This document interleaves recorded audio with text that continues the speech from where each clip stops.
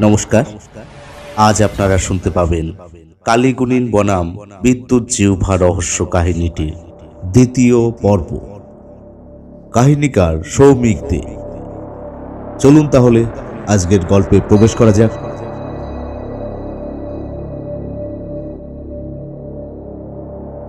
হরিদ্বীপীর থাবা। একটা দিন অতিবাহিত হয়েছে মাঝে। সকলের মনেই একটা চাপা অস্বস্তি। আর আতঙ্ক। হিঙ্গজটা তালুকের প্রজারা পাহাড়ে পাহাড়ে নিজেদের টুকিটাকি বিক্ষিপ্ত চাষবাস অথবা দৈনন্দিন কাজকর্ম সেরে বৈকেলের দিকে গৃহে ফেরার মুখেই হঠাৎ অবাক হয়ে ঠাহর করে দেখলে, অস্তমিত সূর্যকে ঢাকা দিয়েছে একখণ্ড কুচকুচে মেঘের টুকরো। সেই মেঘ যেন ক্রমেই বড় হচ্ছে। ধীরে ধীরে সকলেরই মনে হলো এটি মেঘ নয়, অন্য কিছু।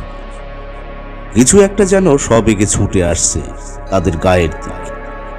কিছু বুঝে ওঠার আগেই সেই ভয়ানক অপচ্ছায়া ভয়ানক গতিতে ছুটে গেল নিচের খাদের ঘন বনের দিকে।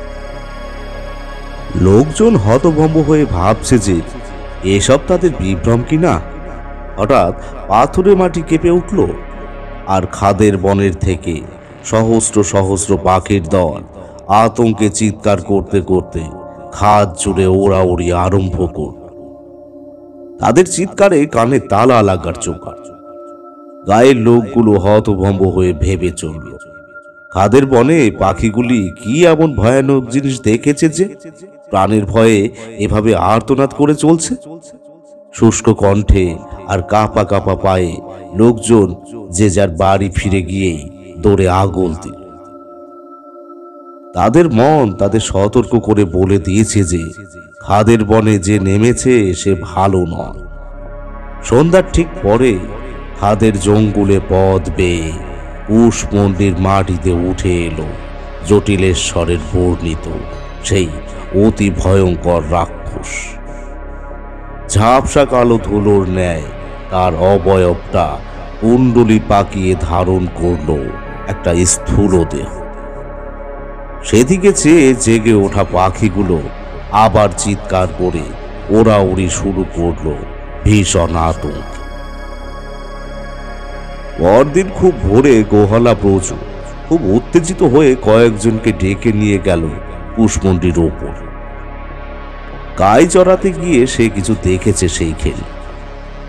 লোকজন সেই উপড়ে পড়া বিরাট গাছটার গোড়ার দিকে গিয়ে দেখলে গোটা গর্তটার চারিধারে বিরাট বিরাট পায়ের ছোপ।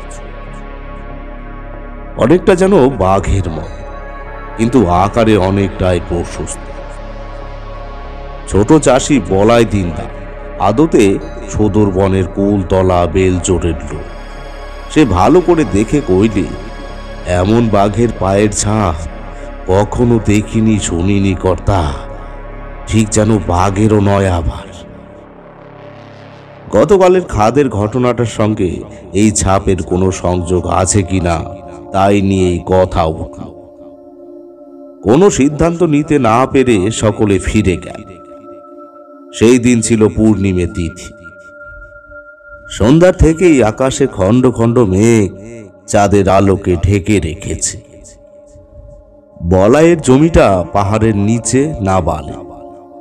আজ তার বলদটার পা ভেঙেছে।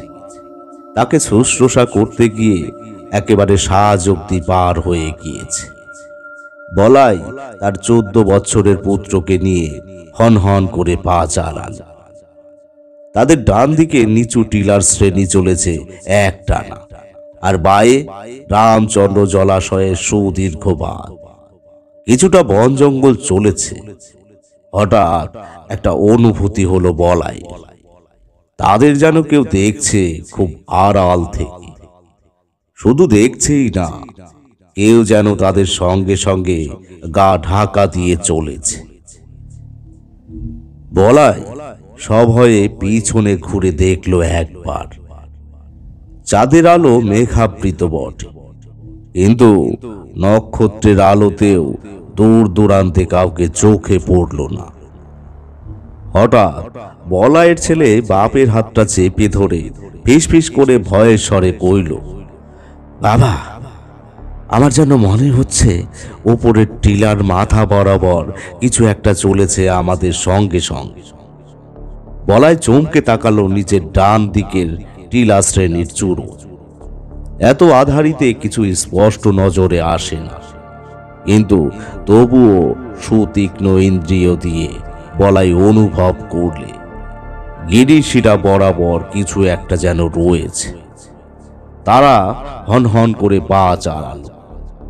ঠিক বাঁধের শেষ প্রান্তে গিয়ে টিলা এবং পথটা যেখানে আবার ডান দিকে বাঁক নিয়েছে সেইখানে পৌঁছতেই আকাশের মেঘ সরে গিয়ে হলদে রঙের পূর্ণ চন্দ্র ফুটে উঠল আকাশে। আর নারায়ণ তার বাপের হাতটা আবার চেপে ধরে নিজেদের বাম দিকটা দেখিয়ে কাপা কণ্ঠে বলে উঠল "আহ, বাবা। বলাই বা দিকে চেয়ে কেঁপে উঠল। চাঁদের পরিষ্কার আলোতে অনতি উচ্চ টিলার মাথার ছায়া পড়েছে তাদের বাঁ দিকে। কিন্তু ওইটি কিসের ছায়া? গিরিশিরা বরাবর একটা বিকট সাপদের মতো জীব ধীর পায়ে হেঁটে চলেছে। তার পরিষ্কার ছায়া পড়েছে বলাইদের বাঁ হাতের জমিতে। বলাই ভীষণ আতঙ্কে টিলার চুড়োয় তাকানোর সাহসটুকু অবধি করতে পারল না। হঠাৎ ছায়াটা এগোনো বন্ধ করে দিয়ে এক পলকের জন্য স্থির নিশ্চল হয়ে দাঁড়াল। আর পর মুহূর্তেই সেটিকে অদৃশ্য হতে দেখে চমকে উঠে বলাই টের পেল যে সেটা টিলার থেকে নিচে নামছে। বলাই ছেলের হাত ধরে ভীষণ আতঙ্কে চিৎকার করতে করতে এলো পাথারি দৌড়তে আরম্ভ করল। হঠাৎ একটা পাথরে পা লেগে নারায়ণ আছাড় খেয়ে পড়ল পাথুরে মাটিতে। বলাই গতিতে কিছুটা এগিয়ে গিয়েই পিছনে ঘুরে ছেলের নাম করে চিৎকার করে উঠল। আর চোখের পলকে কি যেন একটা ভীষণ গর্জন করে ঝাঁপিয়ে পড়ল বলায়ের ওপরে। নারায়ণ নিজের অর্ধ চৈতন্য নিয়ে দেখলে, রাক্ষসে জন্তুটা নিজের বিকট চোয়ালে, তার বাপের অত বড় দেহটা কামড়ে ধরে অবলীলায় উঠে গেল টিলার দিকে। নারায়ণ বেহুশ হয়ে পথে পড়ে রইল। সকালে যখন গায়ের লোকেরা নারায়ণকে পায়, তখন তার শরীর পুড়ে যাচ্ছে জ্বরে, সঙ্গে বিকার কিন্তু বিকারের মধ্যেই সমস্ত কথা সে ধীরে ধীরে জানালে গায়ের লোকেদের সকলের মনেই বিষম ভয় উপস্থিত হল। ভয়টা দশ গুণ বৃদ্ধি পেল যখন টিলার দিক থেকে বলায়ের ভয়ঙ্কর ভাবে ছিন্ন ভিন্ন শরীরটা পাওয়া গেল আকন্দের ঝোপের পাশে।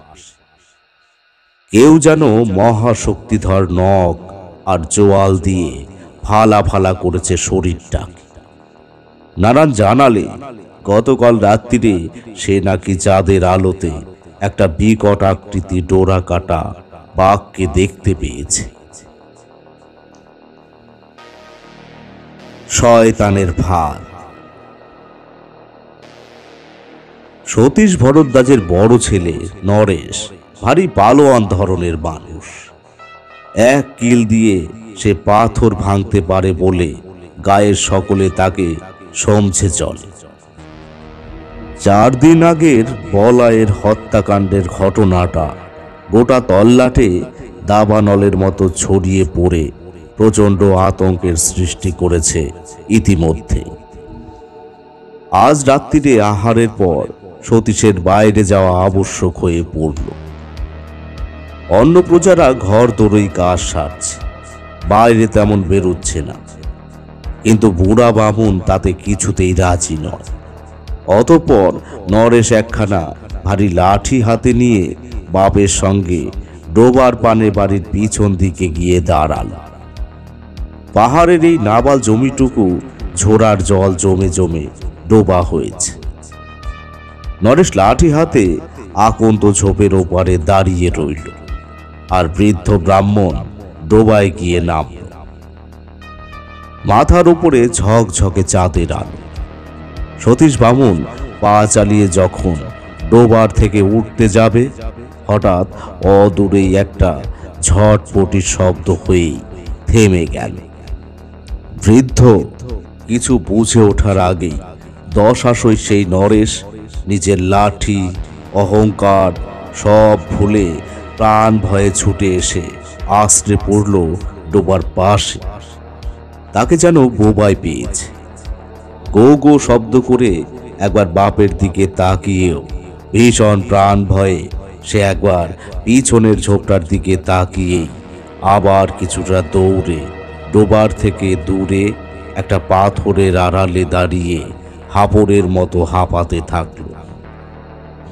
বৃদ্ধ গতিক বুঝে কাঁপতে কাঁপতে পুত্রের পথ অনুসরণ করে পাথরটার কাছে গিয়েই কেঁদে উঠে ছেলেকে জড়িয়ে ধরে।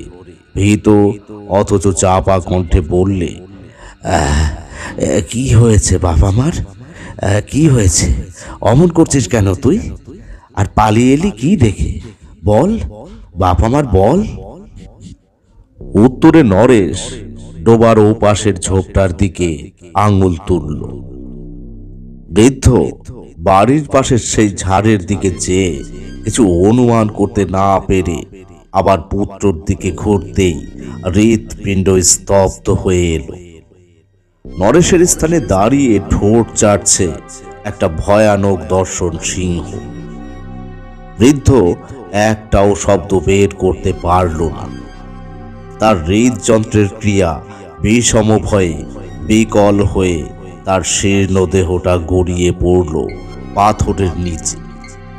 জন্তুটা এক লাফে পাথরটা পেরিয়ে চলে গেল।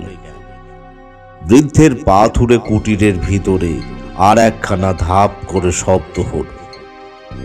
সতীশের কনিষ্ঠ পুত্র কুটিরের পিছনের গবাক্ষ দিয়ে কম্পিত শরীরে চোখ রেখেছিল পুরো ঘটনা। একটু আগে সে দেখেছে তার দাদাকে ঝোপের মধ্যে একখানা বিকট পশু এসে আক্রমণ করল দাদা মাটিতে পড়ে আর উঠল না। ছেলেটি ভয়ে চমকে উঠে বাবাকে সাবধান করার জন্যে পিছনের জানালা এসে চিৎকার করার আগেই সে দেখল, হুবহু নরেশের মতোই একটা কার পিছনে যেন তার বাপ ছুটে চলেছে। তীব্র আতঙ্কে তার কণ্ঠ রুদ্ধ হয়ে পড়ে। বাকি ঘটনা দেখে সে অচৈতন্য হয়ে পড়ে। পরদিন সতীশ আর নরেশের ক্ষত বিক্ষত মৃতদেহগুলো উদ্ধার হয়। রমেশ অসুস্থ শরীরে গায়ের লোকেদের ভাঙা ভাঙা ভাবে ঘটনাটা বল। হিঙ্গজটার প্রজারা এই নারকীয় হত্যাকাণ্ডের বিবরণে দিশেহারা হয়ে পড়ল। এ কোন অভিশাপ নামলো পাহাড়ে? এ তো তবে শুধু পশু নয়, এ কোনো মায়াবী রাক্ষসে জন্তু। সে ছল জানে, হাত পাততে জানে। নারায়ণ দেখেছিল একখানা ভয়ঙ্কর দর্শন পাক। কিন্তু রমেশ দেখেছে একটা অতিকায় সিংহ। তবে কি দুইখানা রাক্ষস ওত পেতে রয়েছে গায়ে? প্রজাদের স্বাভাবিক জীবনযাত্রা সম্পূর্ণ তোলপার হয়ে গেল। একটা পৈশাচিক আক্রমণের আশঙ্কায় গায়ে সব কয়টি নারী পুরুষ গৃহবন্দী হয়ে রইল। আততায়ী রূপ, সংখ্যা, এমনকি আক্রমণের উদ্দেশ্য সম্বন্ধে সকলের মনেই প্রশ্নের পর প্রশ্ন উঠতে থাকল কিন্তু ভরদ্বাজ বাড়ির হত্যাকাণ্ডে একটা বড় এবং অকাট্য প্রশ্ন কিন্তু সকলের চোখ এড়িয়ে হারিয়ে গেল। সেই কথাটা পরে বলছি। সতীশের হত্যার পর পাঁচটি দিন অতীত হয়েছে। সকলেই এক প্রকার, খুব আবশ্যকতা না থাকলে বাইরে বেরোচ্ছে না। গায়ে এক ঘর সম্পূর্ণ গোহালা ছিল। গৃহস্থের নাম যদুনা। তার শুধু এই পাহাড়েই গো মহিষাদির গোহাল নয়। বিহারের দেবঘরের মহাদেবের মন্দিরের কাছে। বিরাট পারিবারিক গবাদির ঘৃত, দুগ্ধ, ননির কারবার এই যদুনাথ সাহস করে নিজের গরুর গাড়িতে ঢাকা চাপা দিয়ে পাহাড় অন্তরে গিয়ে সেই তল্লাটের ডাক সাইটের ওঝা বদ্রীনাথকে সঙ্গে করে ফিরে এলো। বদ্রীনাথ বদ মেজাজ কিন্তু ক্ষমতাবান ওঝা। সে পরের দিন আশপাশের এলাকা ঘুরে বদ্ধভূমি দুখানা দেখে কিছু পরীক্ষা নিরীক্ষা করে ধীরে ধীরে কইল, এই, তোরা কেউ বলছিস বাঘ, কেউ বলছিস সিংহ, এর তিনটে কারণ হতে পারে।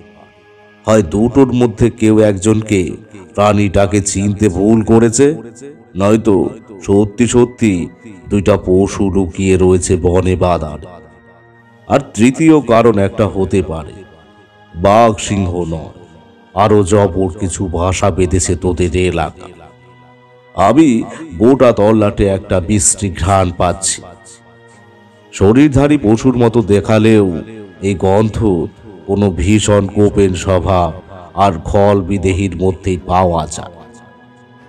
বড় বিপদের ঘেরা টোপে আটকে পড়েছিস তোরা। আমি একটা ওলোটের বাঁধন দিয়ে যাচ্ছি।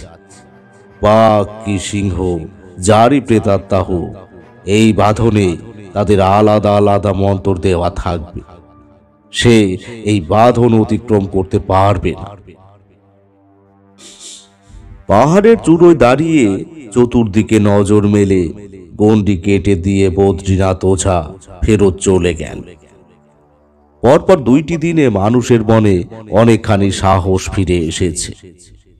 তৃতীয় দিন বিকেলের মুখে চামারির বর্ষি জনার্দন বাইরে কিছু কাজকর্ম সেরে বাড়ি ফিরছিল। একটা টিলার উপর থেকে সে যখন নিজের বাড়িটার দিকে নামছে, তখন একটা দৃশ্য চোখে পড়ে, সে ভয়ে চিৎকার করে উঠল। বৈকেলের আবছা আলোতে বনের গা ঘেঁষে একটা ভয়ঙ্কর জীব গুড়ি দিয়ে এগিয়ে চলেছে তারই বাড়ির দিকে। ঘরে এই সময়ে জনার্দনের স্ত্রী একাকী থাকে। সেই অসহায় আকে আক্রমণ করতে চলেছে এই নরঘাত। জনার্দন দৌড়ে নামতে নামতেই দেখলে সেই প্রকাণ্ড বাঘটা এক লাফে তার পলকা কাঠের দৌড় ভেঙে ভিতরে ঢুকে পড়ল। জনার্দনের স্ত্রীর নামটি সে সময় শুনেছিলাম, কিন্তু এখন আর স্মরণ নাই। মেয়েটি ঘরে আটশির সামনে দাঁড়িয়ে সে সময় চুল আঁচড়াচ্ছে। হঠাৎ কিছু একটা ভাঙার শব্দে চমকে উঠে পিছন ফিরেই সে ভয়ে চিৎকার করে উঠল। তার ঠিক সামনে একটা ডোরা কাটা কদাকার পশু থাবা পেতে ঝাঁপিয়ে পড়ার মুদ্রায় অপেক্ষমান। দূরে, বাইরে থেকে তার স্বামীর আবছা চিৎকার কানে আসছে। মেয়েটি ডুবতে উঠে নিজের হাতের কাঠের কাকইটা সেই পশুর উপরে নিক্ষেপ করে অবশ শরীরে মেঝেতে পড়ে গেল। প্রত্যাঘাতের অস্ত্র হিসেবে কাঠের চিরুনি কখনো উপযুক্ত নয়। কিন্তু জনার্দন দেখলে যে তার দুয়ার থেকে ছিটকে বেরিয়ে এলো পশুটা। আর বনের ভিতরে বিদ্যুৎ বেগে ছুটে মিলিয়ে গেল। স্ত্রীর পরিণতি ভেবে হাহাকার করে বাড়িতে পৌঁছতেই তার নজরে এলো, তার স্ত্রী হতচেতন হয়ে মেঝেতে পড়ে রয়েছে। শরীরে আঘাত নাই। এই কথাটা দাবাগ্নির ন্যায় সকলের মধ্যে ছড়িয়ে পড়তে সময় লাগল এই আশু বিপদ থেকে রক্ষা পেতে সকলেই কাঠের অথবা সিংহের চিরুনি সঙ্গে রাখা আরম্ভ করল সেই দিনই মধ্যরাত্রে আবার কঞ্চির বেড়া ভেঙে লোক তুলে নিয়ে গেল রাক্ষস হরিদি। এই লোকটিও একখানা চিরুনি সঙ্গে নিয়েই শুয়েছিল কিন্তু আপৎকালে তা কোনো কাজে এলো না। ভোরে অনেক পুরুষ মিলে রওনা হলো সাত শিমুলিয়ার উদ্দেশ্যে। অংশিনী সিংহের আশ্রমে দাঁড়িয়ে ভুবনতান্ত্রিক সমস্ত কথা মন দিয়ে শুনে প্রজাদের সঙ্গেই এসে নামল হিঙ্গজটা তালুকের কুশমন্ডিতে আগের বার অত বড় ওঝা বদ্রীনাথের বাঁধনটা ওই দানবটা কীভাবে যেন কাটিয়ে ফেলার পর থেকেই হয়তো ভুবনের ওপরেও প্রজাদের কারও খুব একটা ভরসা চোখে পড়ল না। ভুবন আগের ওঝার মতোই সমস্ত স্থল অকুস্থল পরীক্ষা করে অবশেষে "আহ, কিছু একটা তো অবশ্যই রয়েছে বাছা। খুব ভয়ঙ্কর কিছু আশেপাশে লুকিয়ে রয়েছে। সে বা তারা আমার অনুভূতিতে নিজের অজান্তেই নিজের অস্তিত্ব জানান দিচ্ছে। আমি আরেকটা বাদন দিচ্ছি পাহাড়ের নামে। দেখা যাক উপায় কি হয়। যথাবিধি ব্যাঘ্র ও সিংহের মতো সাপদের যুগৎপদ বন্ধন তৈরি হল। কিন্তু ভুবনের মতো অসামান্য তান্ত্রিকের কাটা বাঁধনকেও নস্বাত করে কুটিল দানব হরিদ্বীপী আবার তার শিকার ধরল রাত্রিটি। সুজন পটুয়া আর তার সহকারী বিষ্ণু মাঝ দুপুরে হন হন করে কুশমন্ডিতে ফিরে আসছিল। বড় অভাবে পড়েই তারা আজ বনের ভিতরে কিছু ফলমূল পারতে গিয়েছিল। পাহাড়ের হত দরিদ্র লোকগুলো যে ঠিক কতখানি অভাবে পড়েই এই প্রাণঘাতী উপদ্রবের সময়েও বাড়ির বাইরে বেরোয়, তা তুমি, আমি শহরের মানুষ হয়েও চিন্তা করতে পারি সুজন পটুয়া, হিঙ্গজটার বাইরে, একখানা বাঙালি ব্রাহ্মণের গৃহে কিছু পরবী দেব দেবীর বিগ্রহ নির্মাণ করে। শরতে দুর্গা, মাঘে সরস্বতী, ফাগুনে রাধাকৃষ্ণ, এইসব আর অবসর সময়ে ধামাকুলো বুনে অতি দরিদ্রভাবে সংবৎসরের গ্রাসাচ্ছাদন চালিয়ে আসছে। তাকে সাহায্য করে বিষ্ণু নামের ছোকরাটি বদলে অনাথ ছেলেটি সুজনের গৃহেই থাকে, খায়। একেই এই আতঙ্কের পরিবেশে বাইরে যাওয়া এক প্রকার বন্ধ। তাই ঘরে খাবারের ভাড়ারে টান পড়ায়। তাদের বাধ্য হয়ে ফল সংগ্রহ করতে বেরোতে হয় আজ। কুশমন্ডির বনের ভেতরটা দিনের বেলাতেও আলো আধারির পরিবেশ হয়ে থাকে। সুজনরা ফিরতি পথে সতর্ক হয়ে পথ চলতে চলতে হঠাৎ দূরের জঙ্গুলে পথে তাদের চোখে পড়ল অনেকখানি সামনে একটা আপ ছায়া কি যেন এগিয়ে চলেছে গায়ের পান। তাদেরই পথ ধরে। দুজনেই প্রথমটা শিউরে উঠে থেমে গেল। এটাই নির্ঘাত ওই নরখাদক রাক্ষস। গায়ে চলেছে নিজের শিকার ধরতে কিন্তু গায়ে বেরোনোর পথ একটি মাত্র। তাই বহুক্ষণ থেমে থেমে, একটু একটু করে এগিয়ে যখন বনের শেষ প্রান্তে তারা চলে এসেছে, দানবটার আর কোনো চিহ্ন দেখা যাচ্ছে না। হঠাৎই তাদের মনে হলো, একেবারে পিছনের ঝোপ ছাড়ে কিছু একটা এসে দাঁড়িয়েছে যেন। দুজনেই গায়ের মানুষ। বনে দিনমানে যতই আধার থাক, অপর পক্ষের গতিবিধি যতই নিঃসার হোক, কিছু শব্দ সব সময় গায়ের মানুষদের কানে ধরা পড়া। সুজন প্রথমটা হতবাক হয়ে কিছুতেই ভেবে পেল না যে যে পশুটা অত বড় আপ ছায়া শরীরটা নিয়ে তাদের থেকে বহু রশি সামনে সামনে চলছিল সে একেবারে নিঃশব্দে দণ্ডি কেটে কীভাবে তাদের ঠিক পিছনে এসে উপস্থিত হয়েছে। কিছু ভাবার আগেই ঝোপটা নড়ে উঠতেই বিষ্ণু তড়িৎ গতিতে একখানা গাছে উঠে পড়ল। সুজনের কিছু বয়স হয়েছে। সে অত দ্রুত কাছে উঠতে না পেরে নিচের মাটির পাড়ে একটা উপড়ে যাওয়া শাল গাছের আড়ালে লুকিয়ে পড়ল। বিষ্ণুর একবার কিছু মনে হওয়ায় চারিদিকটা একবার চোখ বুলিয়ে নিয়ে আবার যখন সুজনের দিকে ফিরল, তখনই সেদিকে তাকিয়ে বিষ্ণুর শরীর বেয়ে একটা হিমেল স্রোত বয়ে গেল। এখান থেকে গাছের আড়ালে সুজনকে চোখে পড়ছে না ঠিকই, কিন্তু তার অবস্থানের ঠিক বিপরীত দিক থেকে একেবারে নিঃশব্দে তার দিকে এগিয়ে চলেছে একটা বিকট জন্তু। বিষ্ণু চিৎকার করে উঠল রাক্ষস রাক্ষস! সুজন পিছনে মুখ করতেই আতকে উঠে মরিয়া চিৎকার করে উঠল "আহ, সিংহ পালাও বিষ্ণু পালাও সিংহ! কিন্তু তার মুখের চিৎকার মুখেই মিলিয়ে গেল। পশুটা গর্জন করে এসে ঝাঁপিয়ে পড়ল সুজনের ঘাড়। বিষ্ণু গাছের ওপর থেকে অবশ দেখল, অত বড় গাছের ঔপ্রাণ গুড়িটার ওপাশে একটা ডোরা কাটা শরীর লেজ আস্তাচ্ছে ভীষণ ক্রোধে। বিষ্ণুর মনটা সামান্য স্বাভাবিক হলে পর তাকে আরও একটা আতঙ্ক পেয়ে বসল। আচ্ছা সুজন তবে চোখের সামনে বাঘ দেখেও সিংহ বলে চেঁচিয়ে উঠল কেন? তাহলে কি বাঘটা বাদেও আরও কিছু একটা লুকিয়ে আছে বনের মধ্যে? প্রবল ভয়ে বিষ্ণু গাছের আগের জায়গা থেকে কিছুটা ওপরে উঠে বসল। আর একটা পশু তাকে আড়াল থেকে লক্ষ্য করছে না তো?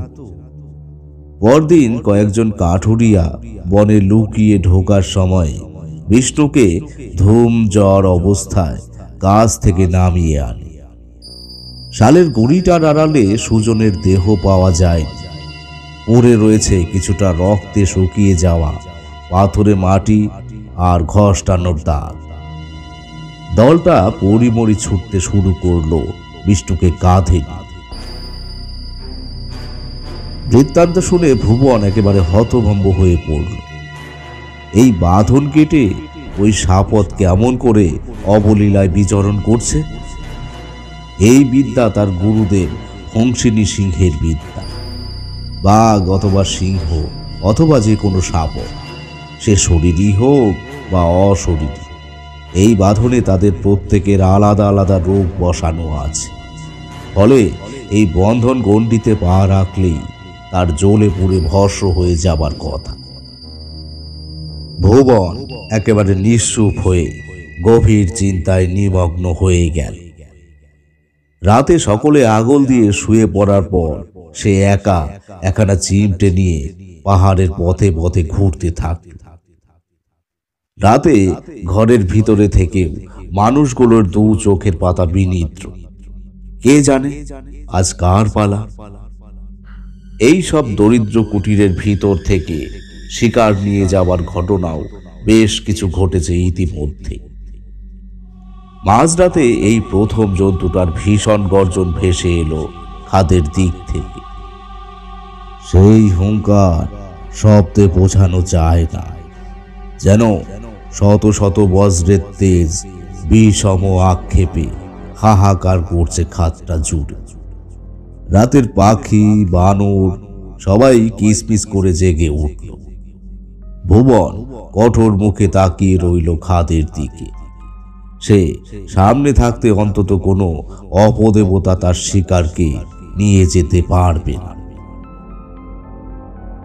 খুব ভোরে যখন একটি দুটি করে লোক ভয়ে ভয়ে নিজেদের নিদ্রাহীন চক্ষু নিয়ে বাইরে উকি ঝুঁকি মারছে, তখন ভুবন মূল গায়ের ভিতরে ফিরে এল। হরনাথ বৈদ্যকে ডেকে কইল আমি একখানা ক্ষুদ্র কথা লিখে দিচ্ছি। এক্ষুনি এক্ষুনি কাউকে সাবধানে নিচে পাঠিয়ে সেইটি কার করে দিয়ে বলো বাছা বড় জরুরি। হরনাথ স্বীকৃত হয়ে এক টুকরো কাগজ বের করে দোয়াতে কালি গুলিয়ে কইল "আহ, বলুন ঠাকুর কি লিখব? লেখো মধ্যমা স্থিতি করি। হরনাথ অবাক হয়ে বললে, এই হ্যাঁ বাছা, এইটাই পাঠাতে হবে এক্ষুনি। আচ্ছা ঠাকুর, যা আপনি বলবেন। কোন বরাবর যাবে? মকুর যে বাটি, রায়তি ঘরা তালুক সুন্দরবন পরগনা। হরনাথ নিজেই গিয়ে ভোরে তার পাঠিয়ে দিল। অধিক মূল্য দিয়ে খুব জরুরি ভিত্তি। আপিসের কেরানি কিছুক্ষণ বিস্মিত হয়ে হরনাথের মুখের দিকে চেয়ে থেকে খটখট করে বয়ানটা পাঠিয়ে দিল।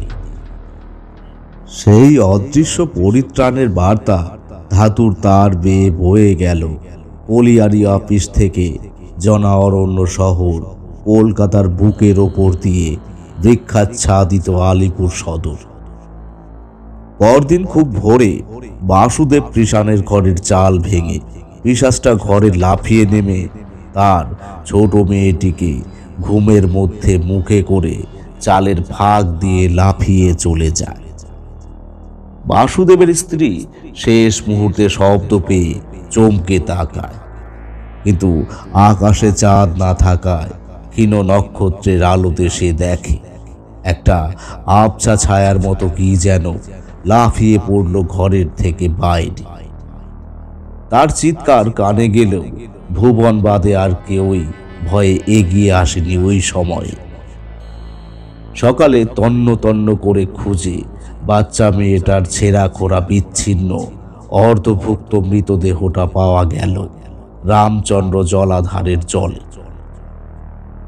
নরখাদক রাক্ষসটা তাকে টেনে নিয়ে গিয়ে এই নিরিবিলি বাঁধের এই পাশটায় আধা মানুষ সমান জলের মধ্যে বসে বসে খেয়েছে। বাসুদেবের স্ত্রী বাঁধের পাথরে মাথা কুটে রক্তাক্ত করে ফেলল কাঁদতে কাঁদতে। তার বিলাপ শুনে ভুবনেরও চোখে জল চলে এলো। অশরীরীর স্পন্দন ভুবন সারাটা দুপুর ভীষণ ক্রোধে আর হতাশায় ছটফট করেছে। আর ঘুরে ঘুরে এখানে ওখানে শেকড় বাকড়, লতা, গুড়া প্রভৃতি সংগ্রহ করে ঠিক বিকেলের মুখে মন্দির বনের লাগোয়া ভূমিতে একখানা যজ্ঞচক্র রচনা কর। তাকে নানান উপাচারে সজ্জিত করে তার সামনে নিজের মন্তর পড়া চিমটে নিয়ে বসল। আপদকালে এই নিরীহ চিমটেই বজ্র হয়ে নামার ক্ষমতা রাখে। জামারি শুষ্ক কণ্ঠে শুধল এ দিয়ে কি হবে ঠাকুর? ভুবন কঠোর স্বরে উত্তর দিলে, আমার সেরা সাধনা দিয়ে আজ আমি ওই পাষণ্ড রাক্ষসের সন্ধান বের করব। আমি বেশ টের পেয়েছি যে এই রাক্ষসের জীবটা একটা অলৌকিক জানোয়ার। কোনো এক বিশেষ লক্ষ্যে সে জেগে উঠেছে আর নরসংহারে লোলুপ হয়ে উঠেছে। যে কোনো দৈবী অথবা অপদৈবী সত্তার সূক্ষ্ম স্পন্দনকেও সন্ধান করতে সক্ষম এই চক্র। তার গতিরোধ না করতে পারলেও এই চক্রে তার গতিবিধি জানা যাবে নির্ভুলভাবে সে কোন দিকে আকৃষ্ট হয়ে চলেছে? অথবা কোন অভিমুখে সে আবার কুটিল হানা দিতে চলেছে? তা ধরা চলবে এর মাধ্যমে। ভয় নাই এই ক্রিয়া আমি একলাই করব সারা রাত ধরে। তোমাদের আমার আবশ্যকতা নাই। জামারি এবার ঝরঝর করে কেঁদে ফেলে বলল "হ্যাঁ, এমন কঠিন কথা কইবেন না ঠাকুর। আমি মরমে মরে রয়েছি। এই সব কিছুর জন্য আমি নিজেকে নিজে দায়ী করে রেখেছি। আমার ওই অভিশপ্ত জিনিসটা প্রথম দিনেই খাদে ফেলে দেওয়া উচিত ছিল। ওইটের জন্যই প্রাণ গেল মাস্টারের।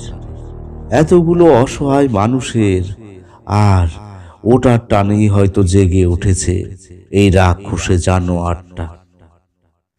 আমি আজ আপনার সঙ্গেই থাকছি, ঠাকুর। তাতে প্রাণ কবুল। জামারি, একখানা ধারালো কাস্তে হাতে রয়ে গেল ভুবনের সঙ্গে।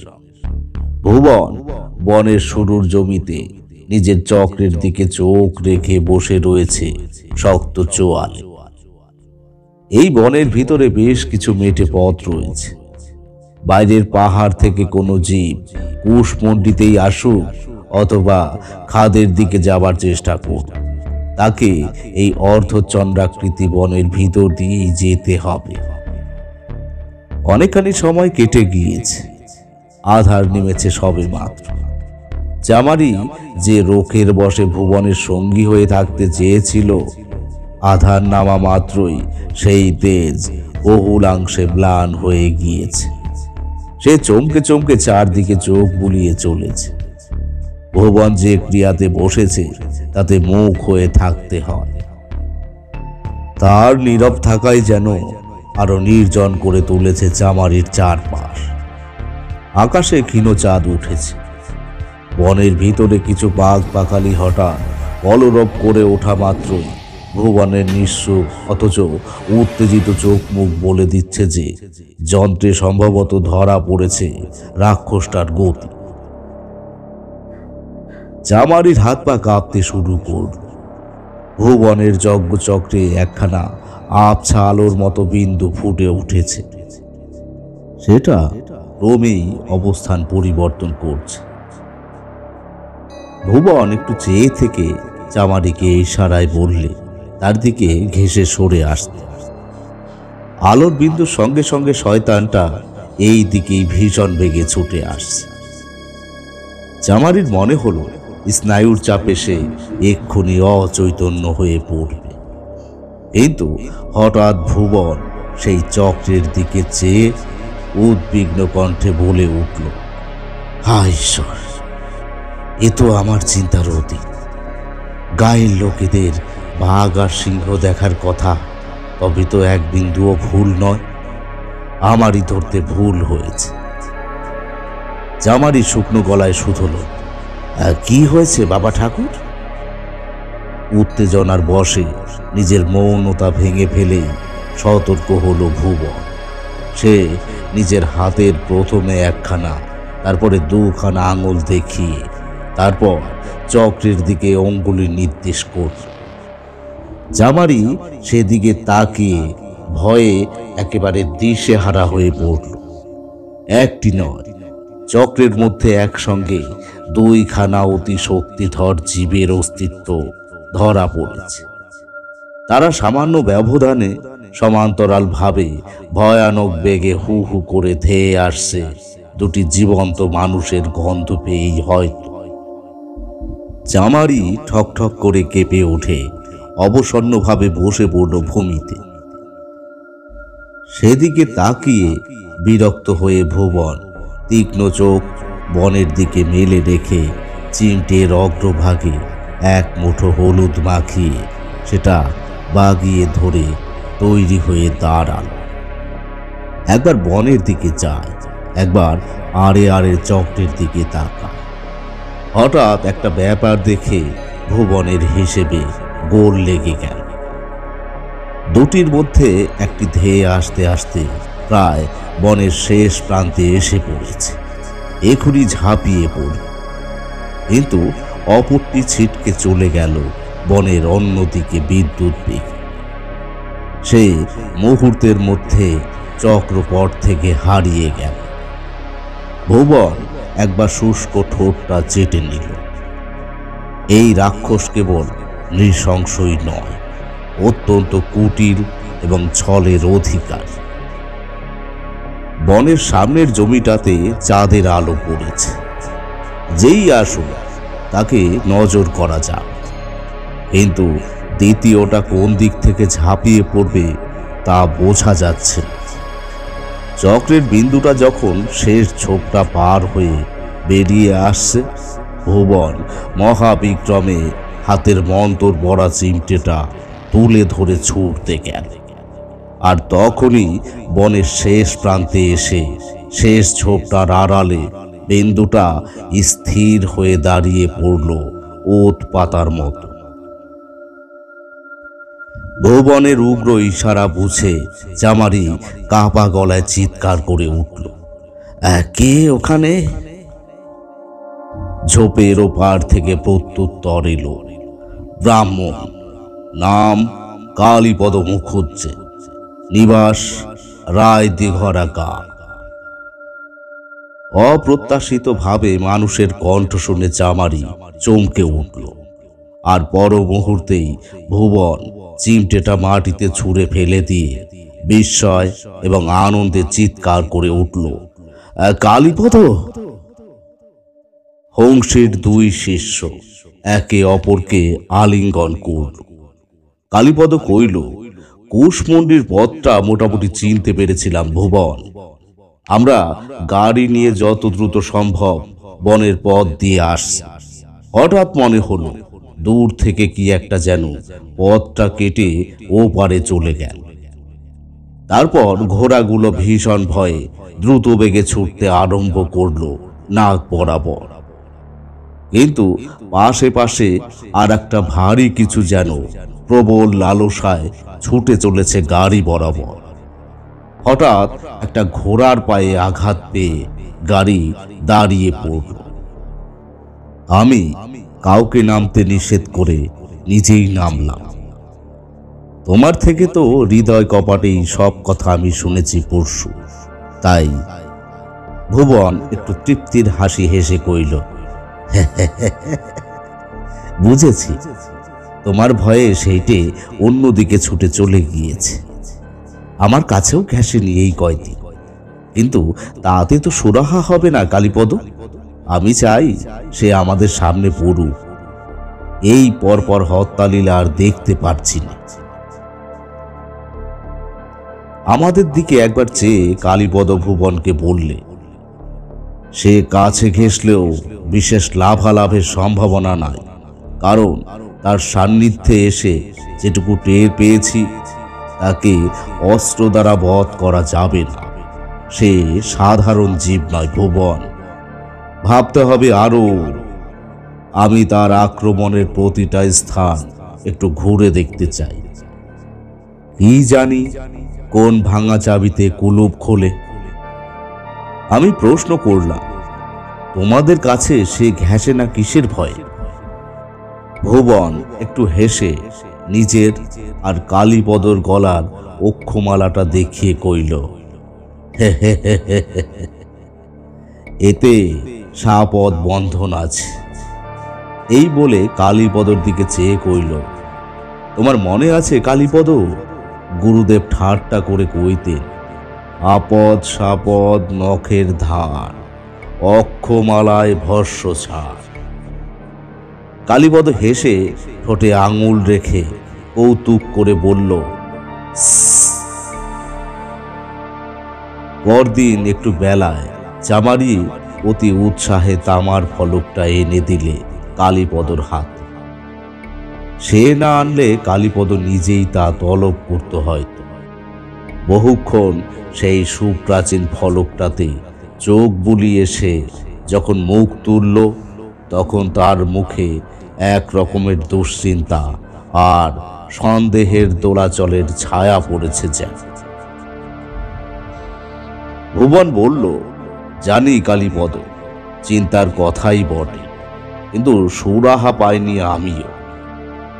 আমি ফলকটার দিকে একটু উকি দিয়ে শুধলাম। এ ভাষা তো তত ভালো মর্ম উদ্ধার করতে পারছি না, কিন্তু আমরা কি একটু জানতে পাই না, দাদা? কালীপদ যেন ঘোরের মধ্যে প্রত্যুত্তরে বললে, শুনবে ডাক্তার, শোনো, কার থেকে কি সমাধান পাওয়া যায় বলা যায় না। বড় হেয়ালি ধরনের লেখা।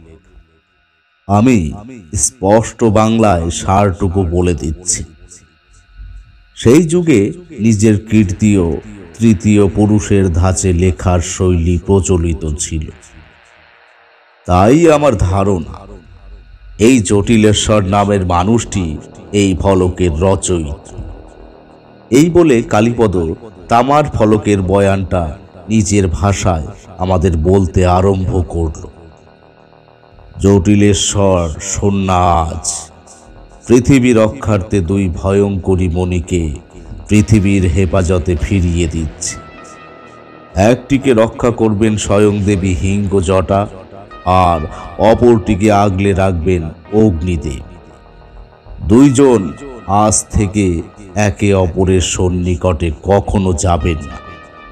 যদি মুখোমুখি পড়েন, তবে দুজনেই ভীষণ রাগে আগুন হয়ে অনর্থ বাঁধিয়ে বসবেন। জটিলেশ্বর ইতিমধ্যেই দেবীকে তার মণি দিয়ে এসেছে।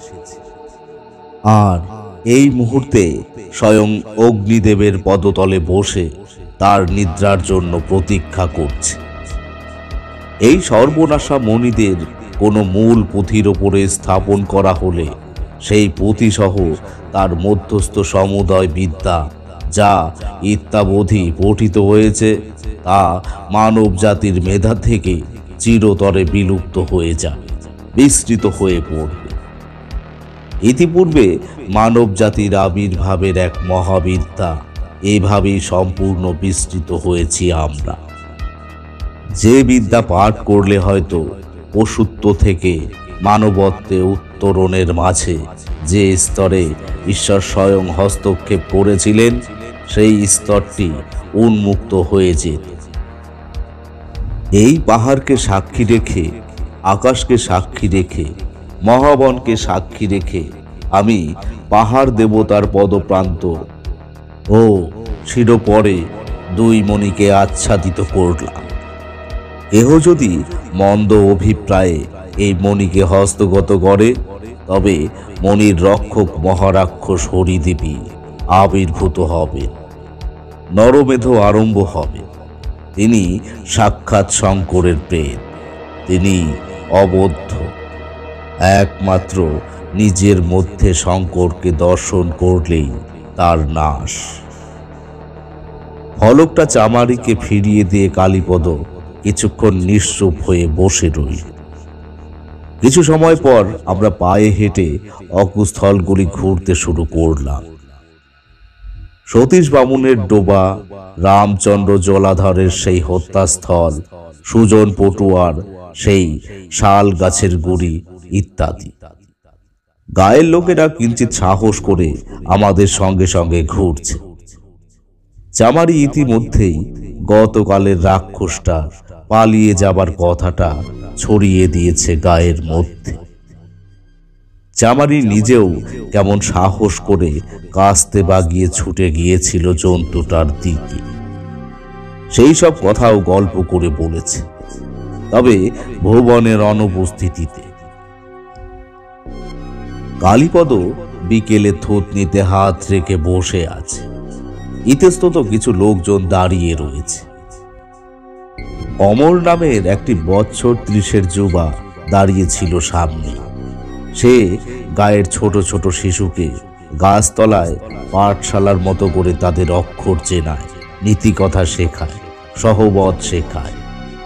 অমর একটু ইতস্তত করে কইল ঠাকুর মশাই একটা কথা বলি, ধৃষ্টতা মাফ করবেন গায়ে দিনের পর দিন যা চলছে, সেই উপদ্রব কি তন্তর মন্তরের দ্বারা সমাধান করা সম্ভব? মানে আমি বলতে চাইছি যে, আপনারা যখন আমাদের বিপদে এগিয়ে এসেছেন, তখন আপনারা মানুষ নিঃসন্দেহে খুবই ভালো। কিন্তু অলৌকিক উপাচারের দ্বারা সত্যিই কি নরখাদকের হাত থেকে মুক্তি পাওয়া সম্ভব? বাকিরা হা হা করে বাধা দিতেই কালীপদ হাত দেখিয়ে কইল "হ্যাঁ, তোমরা উতলা হইও না। উনি শুধু একটা প্রশ্ন করেছে আপনি আগে ব্রাহ্মণ অমর ভট্টাচার্য। দেখো অমর জীবনে যা ইচ্ছে কর কিন্তু কোনো কিছু থেকে বিজ্ঞানকে বাদ দিও না। বিজ্ঞান ভগবানেরই দান করা এক অদ্ভুত বিদ্যে। তোমরা ভাবো ঈশ্বর বিশ্বাসের বিপক্ষ হলো বিজ্ঞানী বিশ্বাস। কিন্তু ভগবানের সঙ্গে বিজ্ঞানের বিরোধ নাই বাছা তন্ত্রও এক অতি উচ্চমানের বিজ্ঞান। তবে তা বুজরুকি দিয়ে শেখা চলে না। গুরুমুখী এই বিদ্যার কেতাব। পুঁথি পড়েও অর্জন করা যায় না। অধ্যয়ন ও অভ্যাস করতে হয়। একদিন মানুষ নিশ্চয়ই তা জানবে। অমর হাত জোর করে বললে, আঘাত দিয়ে থাকলে ক্ষমা করবেন ঠাকুর। আমি আর কানাই নিজেদের মধ্যে কথাবার্তা বলছি। হঠাৎ কালীপদ সুপ্তথিতের মতো মুখ তুলে বললে আচ্ছা ওই বাপ ছেলেকে যে একসঙ্গে হত্যা করা হয়েছিল, তাদের বাড়িতে কে একজন ঘটনাটা দেখেছিল বললে না? নাপিত ক্ষীর তাড়াতাড়ি হাঁক দিলে রামা? এ রামা, এইদিকে আয় একটি একটিবার। ঠাকুর মশাই ডাকছেন। সতীশ ভরদ্বাজের ছোট ছেলে এসে ভুবনের পানে উৎসুক দৃষ্টি মেলে তাকাতেই ভুবন কালীপদর দিকে আঙুল দেখিয়ে বললে, এই উনি। কালীপদ ছেলেটির পানে চাইল। বৎসর ষোলো বয়স। সুকুমার মুখের লালিত্যে যেন অনেকখানি গ্রাস করে নিয়েছে আতঙ্ক। একখানা ধরা পেঁচানো রয়েছে নিম্নাঙ্গী। শরীর আদুর। কালী তার দিকে চেয়ে সস্নেহে কইল আচ্ছা রামা, তুমি তো সেই দিনে অনেকখানি ঘটনায় প্রত্যক্ষ করেছ। না না, আমি সেসব বলতে বলছি কিন্তু ওসব দেখার পর তোমার মনে কিছু প্রশ্ন ওঠেনি? এমন কিছু মনে হয়নি যা হওয়াটা অস্বাভাবিক। ছেলেটি কিছুক্ষণ মাটির দিকে চেয়ে থেকে বললে, আমি জানোয়ারটাকে আবছাভাবে দেখেছি। একবার মনে হয়েছিল সেটা একটা বাঘ, কিন্তু ডোবার পাশে দেখে মনে হলো ঠিক বাঘের মতো নয়। ভুবন কইল আমারও কিছু প্রশ্ন এসেছিল মনে। প্রথমত হতে পারে আততাই একটি নয় আসলে দুইটি। একটি বাঘ, অপরটি সিংহ। দ্বিতীয় অকাট্য কথাটি হলো, সে যাই হোক, কিন্তু ছলনায় অসম্ভব দর। আর তাছাড়া কালীপদ ভ্রু কুঞ্চিত করে এইবার যে কথাটা বলল, ঠিক এই প্রশ্নের কথাটাই আমি তোমাদের সতীশের ঘটনার শেষে আভাস দিয়েছিলাম, পরে বলব বলে। কালীপদ চিন্তিত মুখে বললে, হুম, সবচেয়ে বড় প্রশ্নটাই কিন্তু তোমরা লক্ষ্য করছ না। হয়তো ঘটনার আকস্মিকতাতেই তা তোমরা খেয়াল করনি কেউ কথা হলো, জানোয়ারটা যে অসম্ভব বলশালী এবং অপ্রতিরোধ্য, তা একরকম অস্বীকার করার উপায় নাই। কিন্তু তা সত্ত্বেও নরেশের মতো বলবানকে হেলায় হত্যা করার পর সে বুড়ো সতীশকে ডোবায় নেমে থাবা দেয়নি কেন? তা কি ছল করে ভেগ ধরে সতীশকে জল থেকে তুলে আনতে হলো কেন? উপস্থিত লোকজন তেমন কোনো সূত্র দিতে পারল কালীপদ একবার মুখ তুলে শুধল, রামা, কোষে ভেবে বল, সেদিন আকাশে চাঁদ ছিল রমেশ চিন্তা না করেই উত্তর দিলে, বাবার কিছু নেই ঠাকুর, সেদিন চাঁদ ছিল আকাশে, তাই তো আমি সবটা আবছা হলেও দেখতে পেয়েছিলাম। কালীপদ একটা শ্বাস ফেলে বললে, হুম, বলে চুপ করল। তারপর আমার মুখের দিকে স্বপ্নের ঘরে চেয়ে থাকার মতো চাহনি তুলে বললে, চাঁদ বড় অদ্ভুত এক সাক্ষী জানো ডাক্তার, এই চাঁদ রাতে তোমাকে এই যে চেয়ে চেয়ে দেখে, সেই চাঁদ কিন্তু আলিবর্দি, প্রতাপাদিত্য, অশোককেও এইভাবেই দেখেছে একটা সময়। আজ তুমি চাঁদকে যেমনটি দেখো, হাজার হাজার বছর আগে এই চাঁদের আলোতেই বসে কুরুক্ষেত্রের মহাযোদ্ধারা পরের দিনের রণকৌশল তৈরি করতেন। এরপর কিছুটা সময় আমি আর গানাই অনেক চেষ্টা করেও তার মুখ খোলাতে পারলাম না। আরও কিছুক্ষণ পর আমরা জনার্দনের গৃহের সামনে গিয়ে থামলাম। এই ঘরটি একমাত্র ঘর, যারা মৃত্যুর মুখোমুখি পড়েও অপ্রত্যাশিতভাবে রক্ষা পেয়েছে। কালীপদ আগের ঘটনাগুলোর মন দিয়ে শুনে সেই চিরুনিটা দুই হাতের তালুতে চেপে ধরে, কিছুক্ষণ চক্ষু মুদ্রিত করে তারপর তাকাল। আমি খুব আশা করেছিলাম যে এই চিরুনির মধ্যেই এমন কোনো অলৌকিক উপাদান খুঁজে পাওয়া যাবে যা কিনা ওই রাক্ষসটাকে বধ করতে সক্ষম।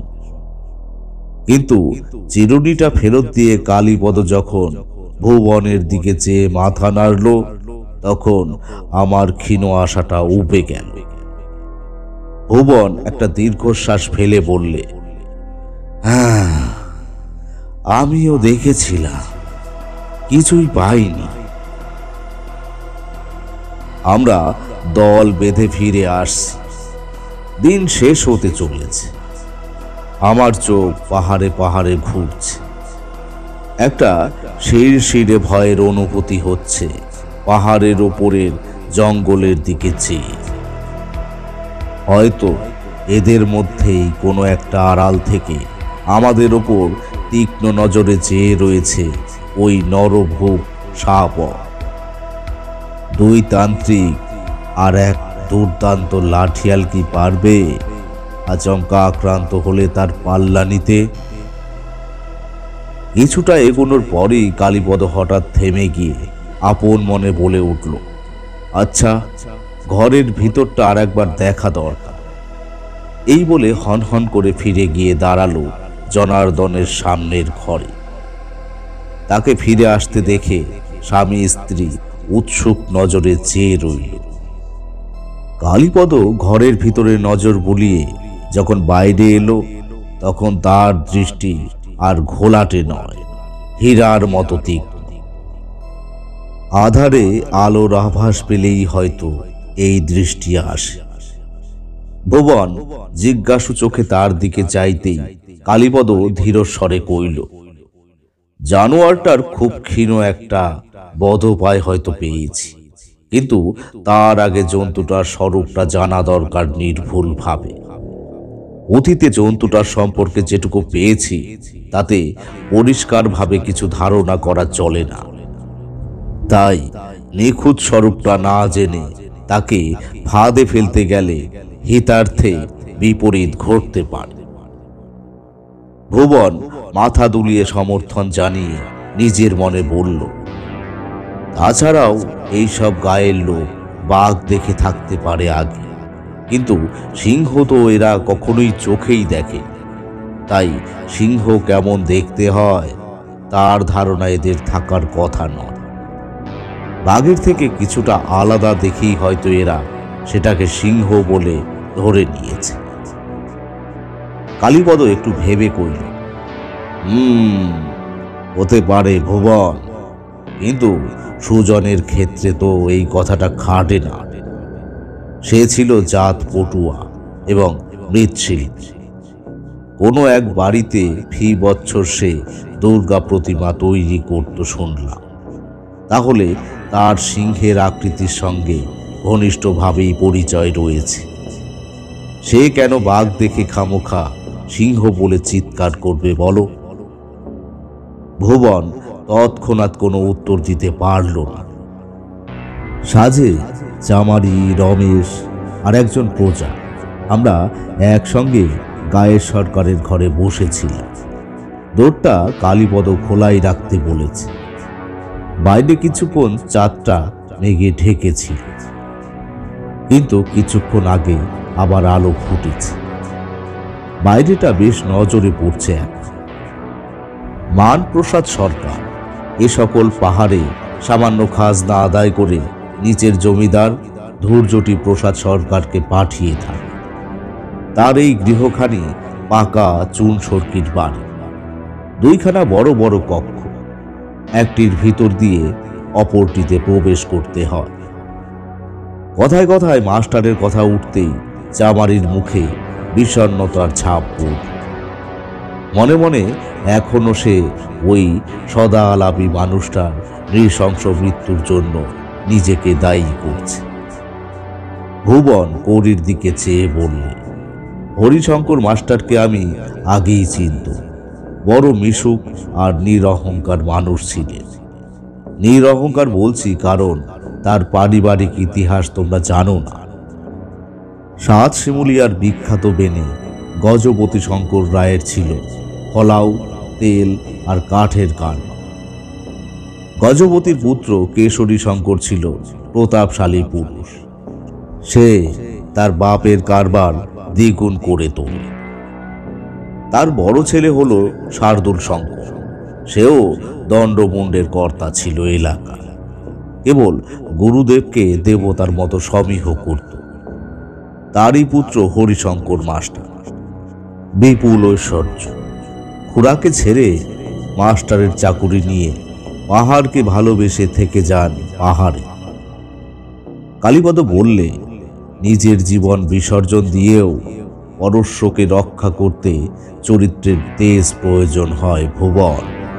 হয়তো বংশানুক্রমে সেই তেজ পেয়েছিল ওই মানুষটা।